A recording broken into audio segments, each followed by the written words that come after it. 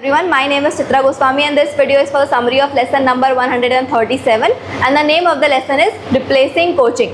The objective of the lesson is to encourage students to take charge of their learning by letting them explore topics they find interesting and investigate questions they have using online search. For the first step, you are going to share with the class that for the next 25 minutes, they will do one of the following in their pairs. First is they can search for their exam papers, sample questions specific to their class and exam board. And the second is watch how to do videos on topics related to your career. An example is how to prepare for an interview and how to start a business. The third is watch a video on a particular topic that's unclear to you. For example, teach me algebra or teach me mean, median, mode.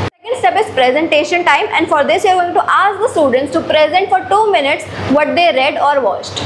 Next part is typing lesson 15 number keys and the objective of the lesson is that students will learn and practice using the correct fingers to press the number keys while typing. For the first step, you are going to show the AV introducing the number row. You are going to display it on one screen for the whole class to watch. This doesn't have to be done in pairs because everyone would require only to watch the step. You are going to ask the students to come closer to the facilitator's laptop. Now for the second step you will have the students sit in pairs at the laptop and then you will give the following instructions. First, place your fingers on the home row keys. Second, practice stretching the correct finger to press the number when I call it out. And the third is your partner can check that if you are using the correct finger. And you will have the partner switch roles and repeat the steps so that all students have a turn.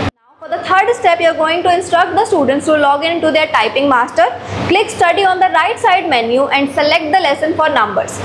Now they are going to complete two or three activities from this lesson and partners should give feedback about whether they are using the correct fingers to press the number keys. After 15 minutes, you are going to remind them to finish their activity and switch with their partner. And while the students are working on typing master, you can call on students one at a time for one-on-one -on -one discussion. You will meet each student for about 2 minutes and you will ask them two questions. The first is what are your goals and how are you working towards it. The second is how are you using Duolingo to improve your English. For the fourth step, you are going to ask the students to summarize today's lesson and you will encourage everyone to share one sentence each.